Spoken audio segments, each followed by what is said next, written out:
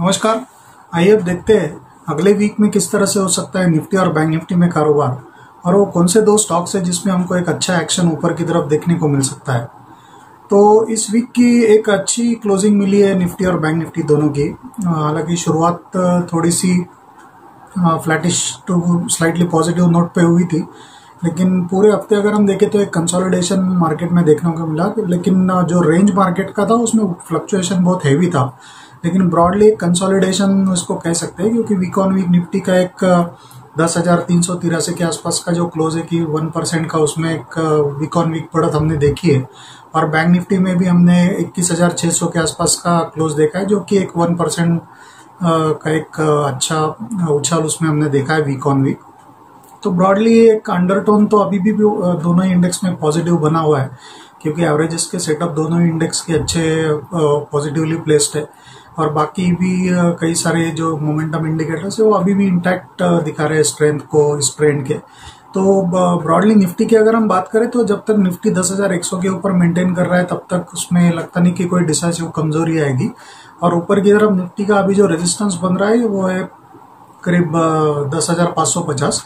तो ये एक ब्रॉडली रेंज लग रहा है निफ्टी का दस हज़ार एक सौ ऑन द डाउन साइड और दस हज़ार पाँच सौ पचास ऑन द हायर साइड तो पाँच सौ दस पाँच सौ पचास के ऊपर अगर निफ्टी निकलने में कामयाब होता है तो हम एक फ्रेश इंडेक्स में आते हुए देख सकते हैं।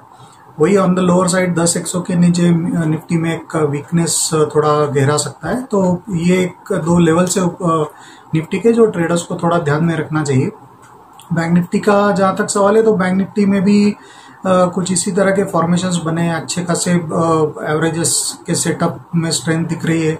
और week on week one percent की तेज़ी भी हमने देखी है। तो on the lower side bank Nifty का जो एक पहला सपोर्ट निकल के आ रहा है, वो है इक्कीस हज़ार बीस नौ सौ, इक्कीस हज़ार इस जोन में आ रहा है। और जब तक बैंक निफ्टी इस जोन के ऊपर मेंटेन हो रहा है, तब तक लगता नहीं कि उसमें कोई बड़ी गिरावट आएगी। On the higher side bank Nifty का जो एक अच्छा खासा एक रेजिस्टेंस बन रहा है, वो एक बाईस हज़ार के आसपास है और दूसरा बाईस हज़ार चार सौ के आसपास है। तो जैसे हमने देखा कि इस वीक में बाईस चार सौ को टेस्ट भी किया था बैंक निफ्टी ने, लेकिन वहाँ पे सस्टेन नहीं हो पाया, एक अच्छा सेल ऑफ़ वहाँ से आ गया। तो इस बार अगर बाईस चार सौ के आगे बैंक निफ्टी निकलने में कामयाब होता है तो फिर हमको एक अच्छी डिसाइसिव तेज़ी, एक डायरेक्शनल मूव हमको इंडेक्स में देखने को मिल सकती है। तो ये कुछ लेवल्स है निफ्टी और बैंक निफ्टी के, जिन पे ट्रेडर्स को खास करके नेक्स्ट वीक में ध्यान रखना चाहिए। अब जहाँ तक स्टॉक्स का सवाल है तो दो स्टॉक है हमको अच्छे लग रहे हैं, जो टेक्निकल सेटअप उनके बहुत पॉजिटिव बने हुए। तो एक स्टॉक का नाम है सीमेंस सीमेंस का आज का जो फ्राइडे का क्लोज आया है, वो है 1116 के आसपास। और उसका एक ओवरऑल अगर हम ब्रॉडर चार्ट स्ट्रक्चर देखें, बिल्कुल जो जनवरी में उसके जो हाइज बने थे जैन फेब में तो वहाँ से अभी तक का जो एक फॉल आया था, उसका एक रिट्रेसमेंट अभी सीमेंस अटेम्प्ट कर रहा है। और उसका एक अगर हम ट्रेंड लाइन ड्रॉ करें तो एक अच्छा खासा ब्रेकआउट उस ट्रेंड लाइन में हमको देखने को मिला है। तो लगता है कि सीमेंस में एक अच्छी तेज़ी बन सकती है। हालाँकि खरीदारी की सलाह थोड़े डिप में होगी क्योंकि मार्केट में फ्लक्चुएशन बहुत है। तो on the lower side Siemens अगर आपको 1100 1090 से लेके 1100 के रेंज में अगर मिलता है तो सीमेंस में एक खरीदारी की सलाह होगी। उसका स्टॉप लॉस जो बनेगा ब्रॉडली वो 1060 के आसपास का बनेगा। और ऊपर में सीमेंस के जो टारगेट बन रहे हो 1210 के आसपास के आ रहे हैं। तो एक अच्छा एक ट्रेडेबल सेटअप लग रहा है सीमेंस में थोड़ा, एक छः से आठ दिन का अगर व्यू ले अगले। हाँ वही ऑन द डाउन साइड उसका 1060 जब तक होल्ड कर रहा है, तब तक कोई प्रॉब्लम नहीं लग रहा है, उसमें स्ट्रेंथ बरकरार रहेगी।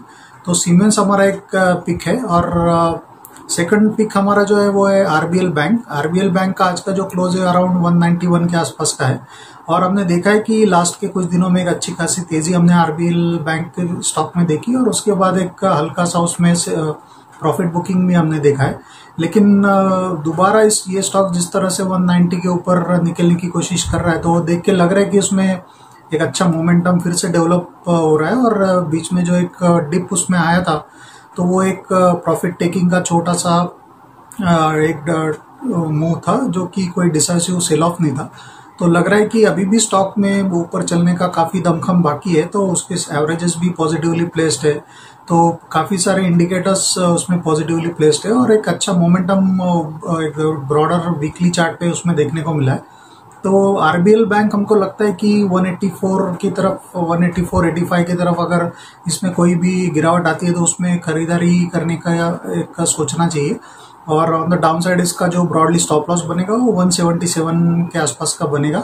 On the higher side RBL bank के जो टारगेट बन रहे हो थोड़े एग्रेसिव टारगेट्स की मैं बात करूँगा, क्योंकि ऊपर में इसके जो पोटेंशियल लग रहे हो प्रॉबेबल वो 220 तक के पोटेंशियल लग रहे तो ये एक अच्छा स्टॉक हो सकता है अगले कुछ दिनों के लिए। हालाँकि ट्रेडर्स को अपने स्टॉप लॉसेस जो मैंने रिकमेंड किए वो स्ट्रिक्टली प्लेस करने चाहिए क्योंकि मार्केट में फ्लक्चुएशन बहुत हेवी है और ऐसा लगता है कि अगले वीक में भी हमको ये फ्लक्चुएशन थोड़ा कंटिन्यू होता दिखेगा इंडेक्स में भी और स्टॉक्स में भी। तो ब्रॉडली ये मार्केट का सेटअप हमको लग रहा है टेक्निकली और ये दो स्टॉक्स है जो हमको अच्छे लग रहे हैं, एक है सीमेंस और दूसरा आरबीएल बैंक